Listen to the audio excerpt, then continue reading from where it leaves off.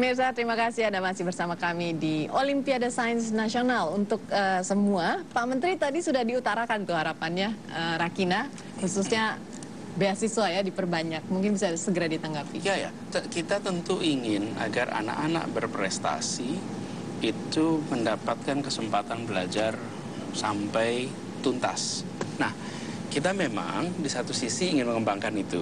Di sisi lain, jangan sampai juga anak-anak itu merasa sudah selesai ininya ikhtiarnya.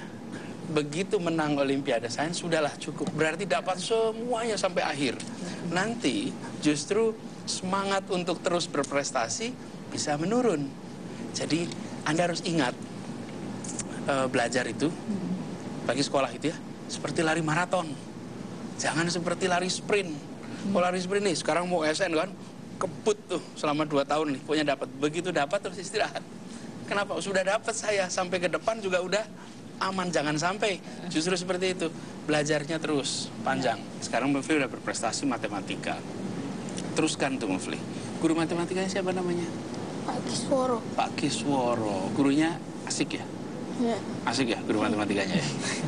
Karena ini juga salah satu kunci yang saya ingin dorong lebih Biasanya jauh. anak kecil tidak suka matematika loh. Ya, karena itu guru itu harus menyenangkan. Hmm. Karena begitu dia mengajar menyenangkan, mata pelajarannya pun menjadi menyenangkan untuk dipelajari.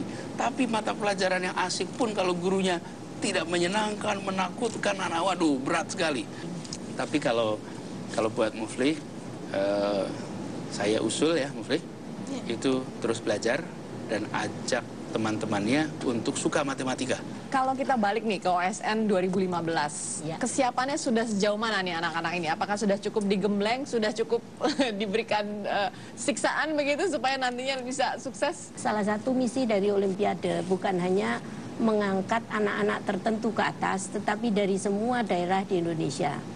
Nah, itu menimbulkan kesulitan tersendiri karena kami harus mengirim ke internasional. Jadi setelah OSN ini tidak berhenti Pak. Untung Ibu nggak ngelihat anaknya kami gembleng ya Bu ya.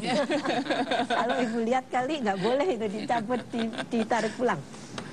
Jadi nanti setelah OSN mereka itu dari 100 anak dipilih 30. Dari 30 jadi 16, dari 16 jadi 8 dan hanya 4 yang berangkat ke internasional. Dan kalau salah pilih itu tanggung jawab moral yang ya. yang luar biasa itu. Ya, ya, baik. Ini ini juga Bu Inga uh, banyak kan sering berkomentar kenapa kok kita fokus memberikan kesempatan pada Olimpiade ini cukup besar di sisi pemerintah. Menurut saya memang kita harus dorong agar uh, kita lihat prestasi anak-anak itu bisa muncul di level internasional memberikan kebanggaan ya. tersendiri ya. bagi anak-anak kita. Sama seperti di sisi lain kita cari 11 orang aja untuk sepak bola itu. Ya. ya kan? hmm. Dari itu nggak muncul. Ratusan juta. Kenapa ini muncul? Kenapa di Olimpiade ini kita bisa menang di level internasional? Hmm. Karena di sini ada satu meritokrasi dan dua ada integritas. Ya. Mereka yang berprestasi lah yang mendapatkan tempat. Nggak pakai hengki-pengki. Nggak ada yang namanya mas. Nggak bisa. Ya betul nggak bu? Ya, Karena ada meritokrasi. Meritokrasi itu artinya berdasarkan prestasi bukan berdasarkan ini anak siapa, ini ponakan siapa, ini latar belakangnya apa, bukan. Nah, jika di semua sektor Indonesia bisa seperti ini, kita akan muncul di dunia internasional. Kenapa? Karena potensi kita luar biasa. Dan ini drivernya, pendorongnya, tidak bisa dari luar harus anak-anaknya sendiri. Yes. Betul nggak Bu? Gak bisa. Betul. Mau ibu Inge mau ngelatih seperti apa pun juga, kalau anaknya nggak mau, nggak jalan, nggak bisa. Jadi itu muncul dari anaknya. Ini sedikit banyak uh, mewakili pertanyaan yang akan saya tanyakan, pertanyaan penutup ini kepada Pak Menteri. Bagaimana sebenarnya cara untuk meningkatkan uh, mutu dari Olimpiade Sains Nasional ini Pak, ke depannya dengan uh, moto tentunya membangun manusia yang tangguh, mandiri, dan juga berkarakter. Ya. Mungkin bisa dijelaskan. Jadi kita, kita memang harus me memanfaatkan semua potensi. Potensi ini terkait dengan institusi-institusi pendidikan. Yang kedua adalah dengan memberikan eh, bahan-bahan uh, yang standarnya lebih baik. Jadi tadi kalau bah, bah, apa bahasa ini kita memberikan fasilitas belajar online. Kita ingin Bu, mendorong. Mm -hmm. Kemarin ujian nasional jika kita coba menggunakan komputer. Yeah harapannya adalah ke depan nanti sekolah-sekolah juga itu bisa memanfaatkan bahan pelajaran yang dikumpulkan dari pusat-pusat kemajuan. Jadi universitas-universitas itu bisa menjadi center Bu, yang nanti diakses oleh eh, sekolah-sekolah.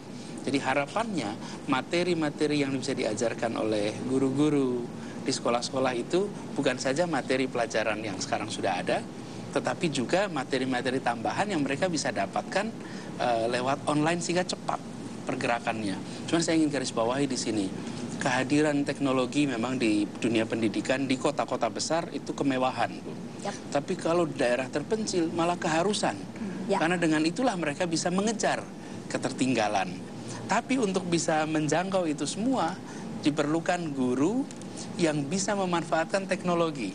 Jadi bukan teknologinya, tapi gurunya yang bisa memanfaatkan teknologi. Begitu ada orangnya, maka alat itu bisa dioptimalkan. Tapi yang sering terjadi kita ngirimnya alatnya, orangnya tidak disiapkan. Dan saya ingin garis bawahi, ya OSN ini penting, tapi juga pengembangan aspek-aspek lain juga penting. Jadi jangan sampai eh, daerah itu menganggap atau sekolah menganggap yang disebut berprestasi itu hanya di bidang eh, sains, Ya. tapi juga di aspek-aspek lain. Dan kita ingin dorong itu. Eh, Kemdikbud tidak ingin anak-anak kita eh, merasa hanya satu aspek saja yang dikembangkan.